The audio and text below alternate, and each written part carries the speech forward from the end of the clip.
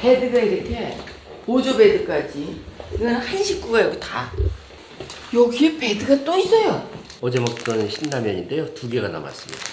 음, 좋아 좋아, 좋아 좋아. 음. 지가 해놓고 잘했대.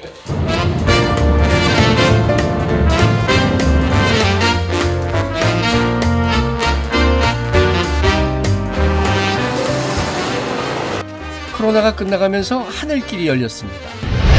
누구나 여행은 설레기 마련인데요. 카메라를 들고 있는 저는 항상 여행이 여행이 아니라 늘 고된 업무의 연속입니다. 깁스야? 저희들의 목적은 올리브 오일의 생산지인 스페인에 와서 올리브 오일을 공부하고 가능하면 세계적인 올리브 오일 생산 농장을 방문해서 유기농 올리브 오일을 수입하려는 목적입니다. 하지만 그딴 이야기는 여러분들에게 관심사가 아니겠죠? 오늘의 이야기는 혹시나 여러분들께서 가족 여행으로 스페인에 올 기회가 된다면 비용은 얼마가 들지, 숙소는 어디가 좋은지, 그리고 여행 중에 겪게 되는 재미있는 이야기로 꾸며봤습니다. 여기는 시에스타인지고 이렇게 하여튼 3시부터 잠자는 시간이 있어가지고 점심도 1시 반에 시작해서 3시면 끝나요. 우리는 배고픈 시간이 훨씬 지난 다음에 밥 먹어야 되고 또 저녁 7시 반이나 8시 반 돼야 이 맛집들이 문을 열어요. 근데 밥 먹는 게 되게 힘들어요. 근데 지금 거의 3시 다 됐는데 일단은 받아줘서 들어오기는 했는데 우리가 예약을 안 했더니 우리 문- 문가에 있는 바깥자리에 앉히고 예약한 사람은 저쪽에 편안한 저런 자리에 앉는다래요. 그것도 여러분 알아두셔야 될 것 같아요. 예약하고 와야 됩니다. 여러분들 비행기에서 먹는 기내식 식사 중 가장 맛있는 메뉴가 뭔지 아세요? 바로 라면입니다. 그것도 컵라면. 이거 한번 맛보시면 기내식 라면 먹으려고 외국 가려고 한다니까요. 이곳은 저희가 당분간 머물게 될 바르셀로나에 있는 집입니다. 에어비앤비를 통해서 공유받은 집인데요. 호텔을 잡을 수도 있었지만 오랫동안 한 지역에 머물게 되면 식비가 장난이 아니거든요. 하지만 이런 집을 얻게 되면 식사를 매번 사 먹지 않아도 된다는 장점이 있습니다. 가운데다가 임시로 빌린 집 주방에는 약간의 양념들이 있고요. 전자레인지가 있고 여기는 오븐이 있고 주방에 필요한 냄비, 후라이팬, 식기류들이 모두 갖춰져 있습니다. 스페인은 한국처럼 자영업이 발달된 나라인데요. 바로 집 앞에 나가면 식당들이 즐비하고요. 식료품을 파는 작은 마트와 편의점도 여러 개가 있습니다. 도착한 날 우리는 마트가 궁금하기도 했고요. 내일 아침 조식을 위해 식재료를 구매하기로 했습니다.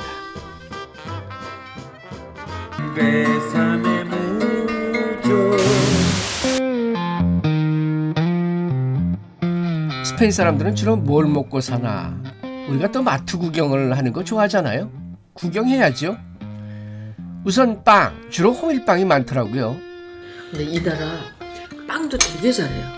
근데 마트에서 사온 거거든 빵집에서 사온 게 아니고 응. 근데도 맛있어. 근데 맛있다는 거지 우리나라에서는 마트에서 사면 맛없잖아 빵.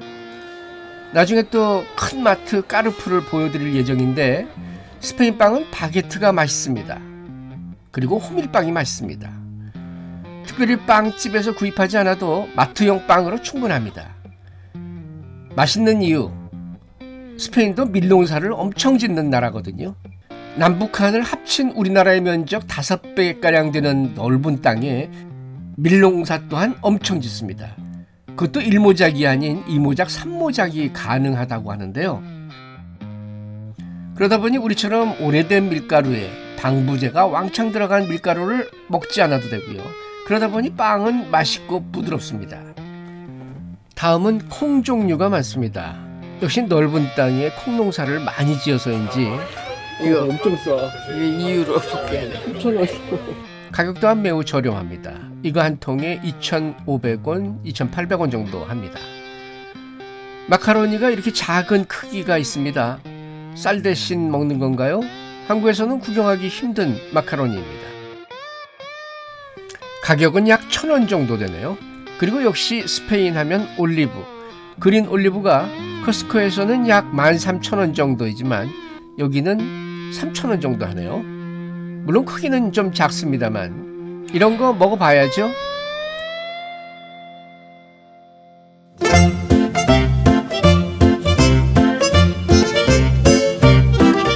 이렇게 구매해온 마트 식재료로 야매 셰프가 아침을 준비했습니다. 여행에는 조식이 매우 중요합니다.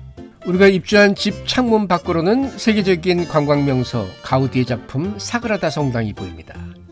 걸어서 2, 3분 정도 거리인데요. 여러분이 제일 궁금해하는 집 구경 본격적으로 해드리겠습니다.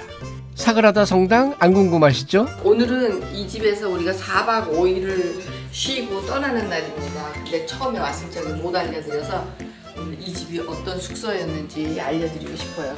여기서 잠깐 여러분들께서 집을 구할 때 잊으시면 안 되는 정보 한 가지 말씀드리겠습니다. 꼭 엘리베이터가 있는 집을 찾으셔야 합니다. 유럽의 집들은 대부분 엘리베이터가 없거든요. 만약 엘리베이터가 없다면 이렇게 큰 가방을 4층, 5층까지 올려놓으면 그날로 몸져 누울 수 있습니다. 여기는 대한민국에 한 40여 평 되는 곳 정도 되는 것 같아요. 3룸에다가 two bath가 있습니다. 여기는 이제 여러분들 이제 여행 오셔서 옷 조금만 가지고 오세요. 가방 너무 무거워요. 다 이렇게 드라이어 있고 세탁기 있어요. 그리고 이곳에 보면은 우리가 필요로 하는 것들, 그 넣을 수 있는 것들 뭐 다 이렇게 돼 있으니까 제 생각에는 여러분들 짐 많이 안 가지고 오시는 것이 방법일 것 같아요. 저는 몰라가지고 짐을 좀 많이 가져왔더니 여기 bath가 또 있어요. 그래서 4명에서 한 6명 정도까지도 충분히 쓸 수 있는 집이에요. 숙소예요. 그래서 근데 그리고 이제 여기는 라지에타식의 어, 건물이어가지고 굉장히 건조해요. 여기는 오비건 샴푸와 피네를 꼭 가지고 오셔야 됩니다. 중요한 거. 여행 오실 때는 오비건 샴푸 그리고 건조할 때 쓰이는 피네 꼭 가지고 오세요. 주방에는 커피 머신 다 있어요. 그리고 이제 냉장고도 있고요. 그 다음에 이런 뒤에 사람들이 두고 간 양념이 적당히 있어요. 전자레인지도 있고 오븐도 있고 식기 세척기도 있어요.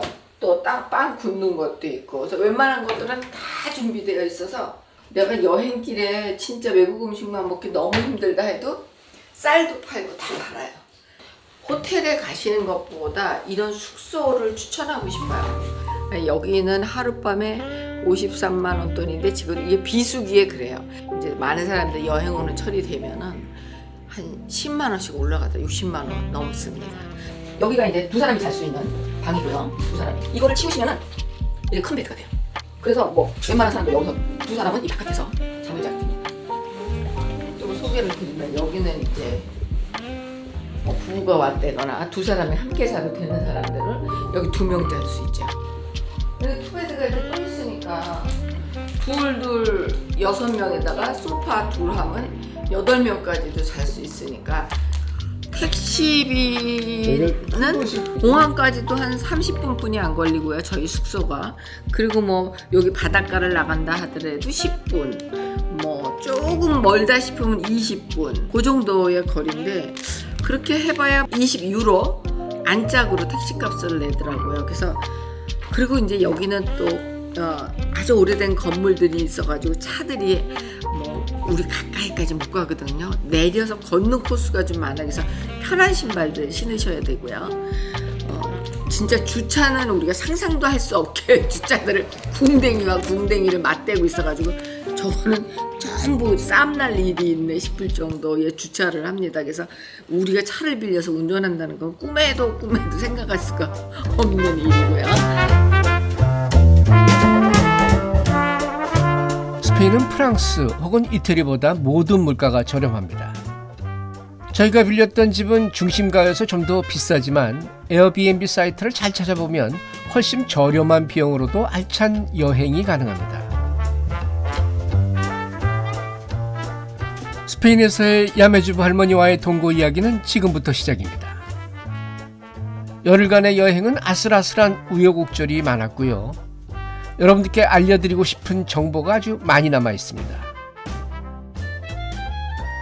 대한민국에서는 퇴출당한 까르푸가 스페인에서는 어찌나 당당하고 신기한 물건들이 많은지 다음 편에서 보여드리겠습니다.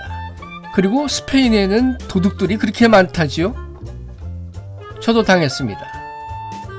눈 깜짝할 사이에 가방을 잃어버린 사연. Corea. No chino. 야매주부가 스페인에서 프로포즈를 받았다면 믿으시겠습니까? 아직도 구독을 망설이고 계신가요?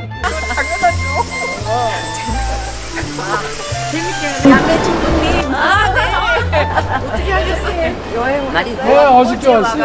어제 서 아, 여기 가서 어떻게 만날 수 있을까? 그런 상상을 혼자 했다가 날짜가 겹치잖아요. 어, 그러니까. 어머 오 감독님 여기 계시네. 나 스페인 살까봐. 스페인에서 좀 먹어주는 얼굴이네. 어, 서- 여기서 맥히는 얼굴 같아. 한국에서 이거 안 하라고. 야매주부 보면 볼수록 재미있는 프로입니다. 구독을 누르시면 다음 편을 쉽게 보실 수 있고요. 아직 마음의 준비가 되지 않으셨다면 좋아요는 어떠신가요? 다음 이야기로 돌아오겠습니다.